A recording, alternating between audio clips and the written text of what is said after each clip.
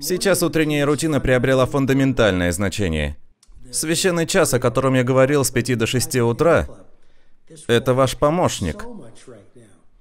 И формула 20-20-20, 20 минут на утренние упражнения, 20 на медитацию и 20 на ведение ежедневника. И не забывайте пить больше воды. А чтобы регулярно соблюдать утреннюю рутину, вам нужно как следует высыпаться. Сейчас вам может потребоваться даже больше сна, чтобы укрепить свою иммунную систему. Больше спите, больше пейте воды.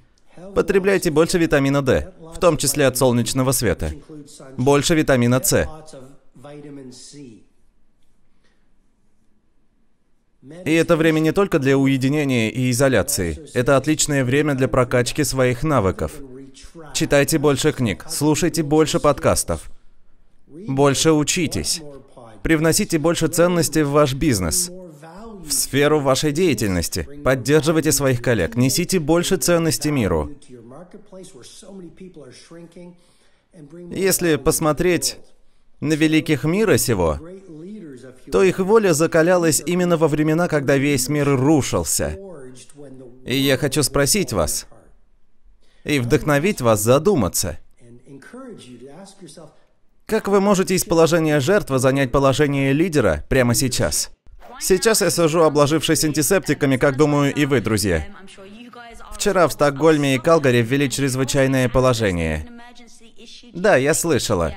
На самом деле я особо не поддаюсь панике, потому что я из тех людей, которые любят говорить, и я все контролирую. Но сейчас я не могу контролировать ничего. И я даже наслаждаюсь этим. Да, я не могу контролировать коронавирус, так же, как и никто из нас. Но мы можем контролировать свое отношение к тому и то, как мы транслируем его другим людям. Потому что если вы паникуете, то люди вокруг вас тоже начнут паниковать. Так что я всегда стараюсь все воспринимать как лучшее, что могло случиться. Говорят, что в Пенсильвании ввели ЧС, но я работаю в госпитале. Боже, берегите себя, если вы работаете в госпитале. Тони Робинс говорит, подумайте, как вы можете взять ужасную ситуацию и извлечь из нее лучшее из возможного. Так что я думаю, здесь все дело в нашем восприятии вещей. Сейчас ничего не поделать с этим вирусом, так что я лучше абстрагируюсь. Но я могу контролировать свои чувства и реакции. Могу найти что-то хорошее. Я имею возможность провести трансляцию в Инсте с вами в понедельник в 2 часа дня. У меня не было бы такой возможности раньше. Уже один плюс. Второй, обычно мы не так много видимся с мужем, потому что все время куда-то бежим. А сейчас у нас куча времени. Поэтому подумайте, чем эта ситуация может быть хороша для вас и оставайтесь позитивными.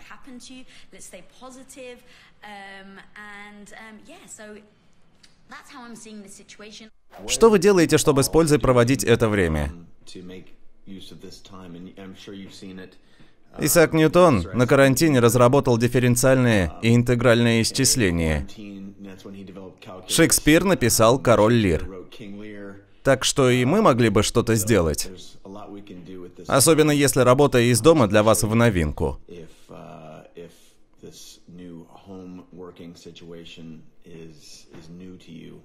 В 2008 после экономического кризиса у меня случился настоящий прорыв в моей карьере фотографа, о чем бы я и подумать не мог. Мое сообщество стало очень быстро развиваться и вскоре выросло в приложение Best Camera App и Creative Life. Я выпускал много контента, потому что тогда работы особо не было. Так что никогда не знаешь, к чему все приведет. Возможно, это время станет очень мощным толчком вперед для вас в эти смутные времена. Все возможно. Было бы желание. Просто продолжайте делать то, что можете. Кто-то спрашивает, работают ли сейчас в Италии, и ответ – нет. У них все полностью закрыто. Кто-то пишет, что через пару лет про коронавирус никто и не вспомнит, но я думаю, что через пару лет люди все равно будут им болеть. Просто, возможно, в другой форме. Он останется так же, как птичий грипп, азиатский грипп, который был в 1957 -м. Мы этого не помним. Но почитайте об азиатском гриппе. Он убил 34 тысячи человек в США, и он все еще существует. В экономике произошел спад. Люди перестали покупать вещи на какое-то время, но затем они начали покупать еще больше, чем раньше. Всегда бывают определенные сдерживающие факторы, и экономика развивается волнами. Возможно, так же будет и здесь. Никто не покупает сейчас, а через три месяца опять начнут покупать. Подумайте о своем страхе. Чего вы боитесь? Каков наихудший сценарий? Вы боитесь заболеть?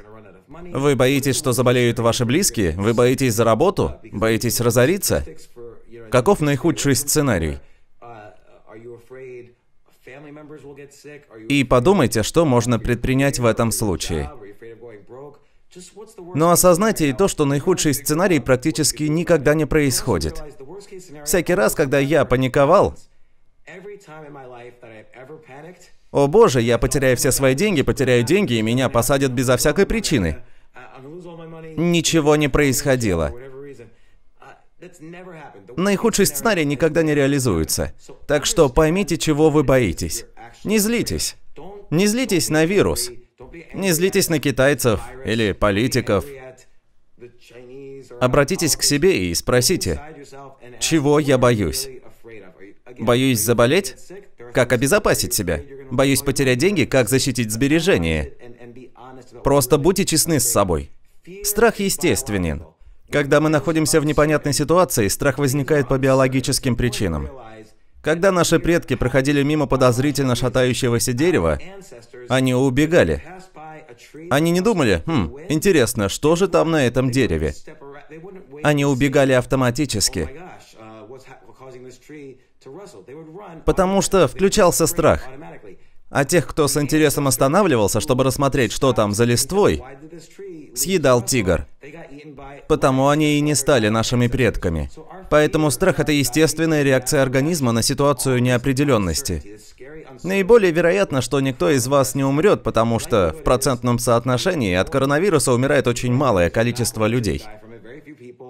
Но вероятно и то, что большинство из нас заболеет. У кого-то будут симптомы, у кого-то нет, но в итоге вы поправитесь. Да, люди за 70 подвержены наибольшему риску. Им следует оставаться дома.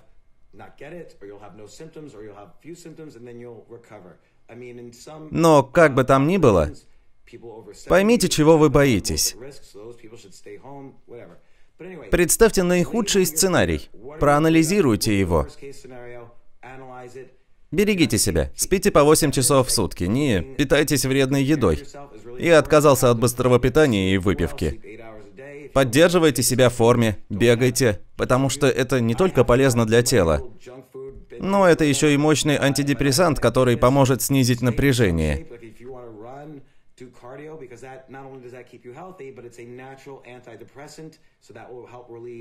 И сделайте, сделайте что-то творческое сегодня. Потому что это позволит вам погрузиться в поток. Это захватит вас. Выпишите 10 идей. Порисуйте, напишите рассказ, начните вести дневник. Просто записывайте свои ощущения. Сделайте что-то творческое.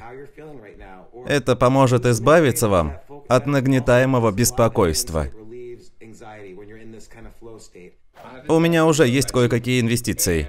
Но мой финансовый советник сказал, сейчас лучше не выводить их. Только если тебе срочно не нужны деньги. Лучше пережди. Как считаешь, стоит продавать или покупать? Я считаю, что этот человек дал тебе отличный совет. Очень хороший совет. Я считаю, не нужно спешить. Паническая продажа – это, пожалуй, глупейшее решение. И я не считаю, то есть не хочу. В общем, я считаю, что на рынке сейчас спад. Примерно на 10-20%. Мне так кажется. Не знаю, так ли это, но мне так кажется. И тем не менее, продавать из-за паники, здесь расчет на перспективу. К счастью, у этого твоего финансиста котелок варит. Или это она. И тебе сейчас не надо судорожно покупать, чтобы сразу продать. А сейчас из-за коронавируса так и происходит. А тебе нужно рассчитывать на длительную перспективу. А если ты рассчитываешь на мгновенную выгоду, это очень трудно. Решение, которое я принял в своей команде и которое всем рекомендую, особенно тем, у кого есть семья или своя команда, во-первых, дайте людям понять, что их безопасность – это ваш главный приоритет. Их душевное, эмоциональное, физическое, финансовое состояние – это ваш главный приоритет. Это первое. Пункт второй. Повторю еще раз. Во времена хаоса, неопределенности, страха и всего подобного выигрывают те люди, которые держатся вместе. Мы нужны друг другу. Несмотря на все эти «мне никто не нужен». О, еще как нужен. Когда все идет хорошо, легко махнуть рукой. Ты мне не нужен. Но знаете, человек это особь социальная. Нам всегда нужна связь друг с другом. Иначе зачем вы сейчас это смотрите? Вы хотите слушать, узнавать, делиться. Поэтому мы нужны друг другу. Я сейчас говорю как Берни Сандерс. Мы нужны друг другу. Мне нравится Берни. Нужно убедить людей, что я как директор компании беру их безопасность на себя, и что ко мне можно подойти с любой проблемой.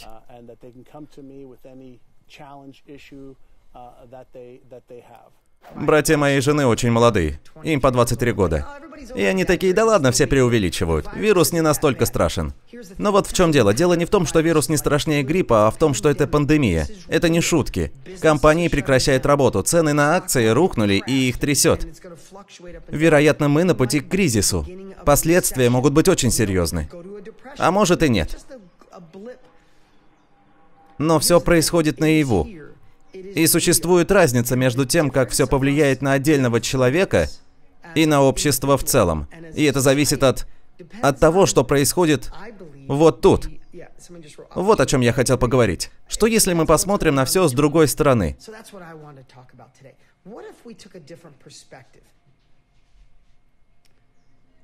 Что если мы решим, что будем примерами для подражания, лидерами, покажем людям, как пережить это все?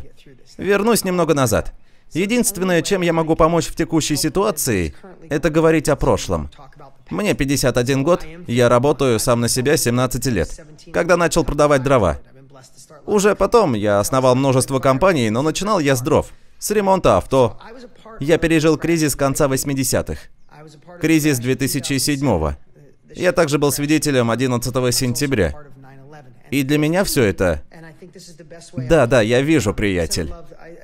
Я вас тоже люблю. Спасибо за слова. Но позвольте я поделюсь своим опытом. Все, что происходит, это очень похоже на 11 сентября. В один день мир изменился. Особенно это коснулось Америки. В тот день мы в Америке утратили чувство защищенности. Ведь, по сути, до этого на Америку никогда не совершали нападения извне. Наверное, только один раз Пёрл-Харбор. В Америке не было войн, мы были под защитой. Как вдруг внезапно нас атаковали прямо в нашей стране. Тысячи жертв. И в один день мир изменился. Изменилась экономика, весь мир. Все начали бояться. Я лично помню, как боялся идти на баскетбольный матч в супермаркет. Если вы очень молод, вы вряд ли это вспомните, а тем, кому за 35, наверняка вы это помните. Было страшно. Справа люди твердили, мир никогда не будет прежним, особенно Америка. Слева говорили, да ладно, пустяки. Говоря лево и право, я не имею в виду политические ориентиры. Но вот в чем дело. Во время этого хаоса произошло то, что произойдет и сейчас. Люди активизировались. Появились примеры для подражания, лидеры. Они вдохновили людей вылезти из своей раковины, вновь вернуться в мир, вдохновили на действия всех. Детей, семью, друзей. И мало-помалу, особенно здесь, в Америке, к нам вновь вернулась уверенность. И затем она укрепилась. Для многих сейчас этот день ничего особенного не значит. Но то была трагедия и часть нашей истории. Вот к чему я пытаюсь вас подтолкнуть. Если смотреть через призму времени, неважно сколько вам, 20, 30, 40, 50 или 60 лет, или даже больше, помните, Помните, как меняются времена года? Весна, затем лето, затем осень, затем зима. Так и наш мир. В нем все циклично. Долгое время у нас было лето. И это было прекрасно. Лучшая экономика мира целых 10 лет. Все казалось идеальным. Но зима пришла очень быстро. И я не знаю, сколько она продлится. Я не экономист, поэтому не могу прогнозировать.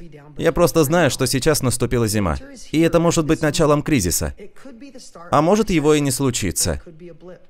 Но для вашей семьи и для вас лично все будет зависеть от вашего восприятия текущей ситуации. Возможно, будет трудно. Еще раз вернусь чуть назад. Многие говорили, моей сферы это не коснется, но это коснется всех и каждого. Это коснется всех. Но некоторые люди смотрят на все с позитивом, а некоторые наоборот. Если вы работаете в сфере информации, в сфере онлайна, цифровой экономики, и если вы продаете знания, по моему мнению, исходя из моего опыта, когда происходит такое, люди стараются обучаться чему-то новому, находясь дома. Если вы работаете в этой сфере, это ваш шанс. У вас есть возможность помочь людям. Но другие сферы пострадают. Просто осознайте, что осложнения неизбежны. Но знаете, кто выходит победителем? Не тот, кто что-то изобрел, и не тот, кто извлекает личную выгоду из таких ситуаций. Знаете, кто побеждает? Тот, кто находит в себе способность стать примером для подражания, лидером в трудные времена. Друзья, если вам понравилось это видео, то вы, возможно, захотите посмотреть и другие видео об успешных людях. Подписывайтесь на канал, и вы увидите то, что вдохновляет меня в других, и что я применяю в своей жизни и бизнесе. И оставляйте свои комментарии внизу.